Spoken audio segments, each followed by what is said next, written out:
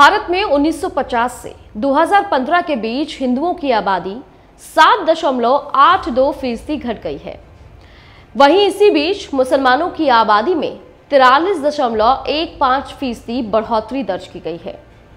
हिंदुओं की आबादी घटने का सिलसिला पड़ोसी हिंदू, बाहुल्य, नेपाल में देखने को मिला है। साथ ही म्यांमार में भी बहुसंख्यक बौद्धों की आबादी में गिरावट आई है। इसके विपरीत पाकिस्तान, बांग्लादेश और अफ़गानिस्तान में वहाँ की बहुसंख्यक आबादी मुसलमानों की संख्या बढ़ गई है और अल्पसंख्यकों की संख्या सिमट गई है। प्रधानमंत्री के आर्थिक सलाहकार परिषद ने अपनी ताज़ा रिपोर्ट में खुलासा किया है। रिपोर्ट के अनुसार दुनिया के अधिकांश मुस्लिम बहुसंख्य देश में मुस्लिम आबादी में बढ़ोतरी हुई है। वहीं हिंदू, ईसाई, अन्य धर्म बाहुल्य देशों में बहुसंख्यक आबादी में कमी आई है। प्रधानमंत्री के आर्थिक सलाहकार परिषद ने दुनिया के एक सौ सड़सठ देशों में 1950 से 2015 के बीच आए जनसांख्यिकी बदलाव का अध्ययन किया है। परिषद ने इसी महीने रिपोर्ट जारी की है।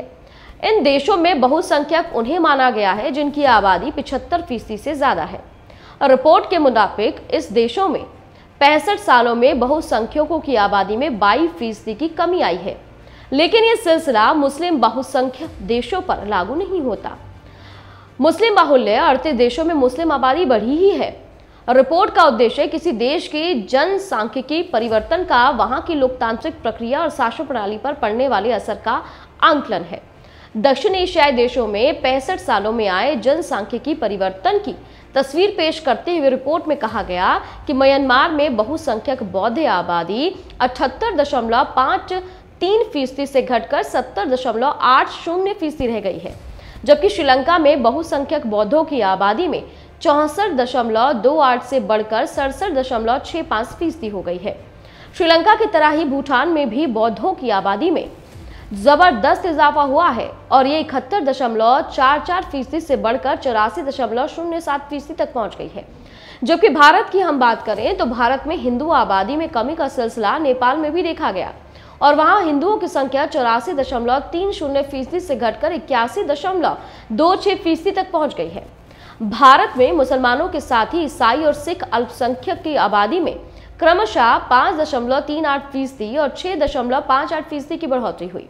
अफ़गानिस्तान में भी मुस्लिम आबादी अट्ठासी दशमलव सात पाँच फ़ीसदी से बढ़कर नवासी दशमलव शून्य एक फ़ीसदी पहुँच गई है। दक्षिण एशिया में अकेले मालदीव में मुस्लिम आबादी में मामूली गिरावट दर्ज की गई। जो निन्यानवे दशमलव आठ तीन फ़ीसदी से घटकर अंठानवे दशमलव तीन छह फ़ीसदी पर आ गई है। देखिए, देश के चुनाव में घटती आबादी मुद्दा कल से गरमाया हुआ है, जहाँ भाजपा नेता हिंदुओं की घटती आबादी पर चिंता ज़ाहिर कर रहे हैं। वहीं दूसरी ओर कांग्रेस को भी कोसने में कोई कोर कसर नहीं छोड़ रहे। अब ऐसे में सवाल ये उठता है कि सरकार को आखिर ये सर्वे का रिपोर्ट चुनाव के मध्य में जारी करने की आखिर क्या ज़रूरत थी? क्या भाजपा को सत्ता में वापसी ना कर पाने का डर सता रहा है?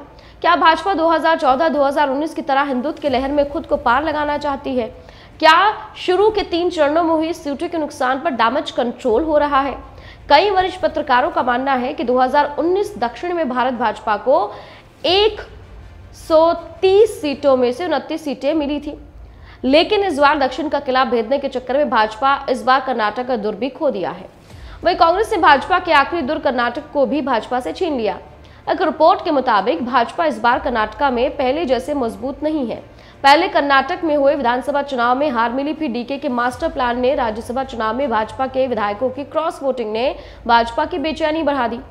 हाल ही में हुए प्रज्वल रेवन्ना के जुड़े वीडियो भाजपा और उनके सहयोगी दल जेडीएस को बहुत नुकसान पहुँचा रहे हैं। दूसरी तरफ़, तेलंगाना में कांग्रेस की नई नई सरकार बनी है। तेलंगाना के सीएम रेवंत रेड्डी जिस हिसाब से बीआरएस और भाजपा के नेताओं को कांग्रेस में शामिल कर रहे हैं, ऐसा लगता है जैसे तेलंगाना में विपक्ष को खत्म करके ही दम लेंगे। अब इस चुनाव में भाजपा के लिए राजस्थान से भी कोई अच्छी खबर आ नहीं रही है। पिछली बार जहाँ राजस्थान में भाजपा को 25 सीटें मिली थी, वहीं इस बार भाजपा को राजस्थान में बड़ा नुकसान उठाना पड़ सकता है। भाजपा राजस्थान के कुछ सीट चुरू झुंझुनू, सीकर, नागौर, डूंगरपुर, बांसवाड़ा, जैसलमेर, बाड़मेर टोंक सवाई माधोपुर, गंगानगर, भरतपुर, दासों में कमज़ोर साबित हो रही है। और ये सीट हार भी सकती है। वहीं कोटा, जोधपुर, भिलवाड़ा, जयपुर ग्रामीण पर कड़ी टक्कर है। भाजपा के दिग्गज नेता ओम बिरला, कैलाश चौधरी, गजेंद्र सिंह शेखावत कड़ी टक्कर में फंसते नज़र आ रहे हैं। अब ऐसे में भाजपा की बेचैनी तो लाजमी है। चुनाव में सीटों को लेकर संशय अभी भी भाजपा में बना हुआ है। अब ऐसे में अगर आबादी, मंगलसूत्र, गाय, हिंदू, मुस्लिम, अडानी, अंबानी भाजपा अगर बात करती है तो ऐसे में लोगों के लिए कोई नई बात नहीं है।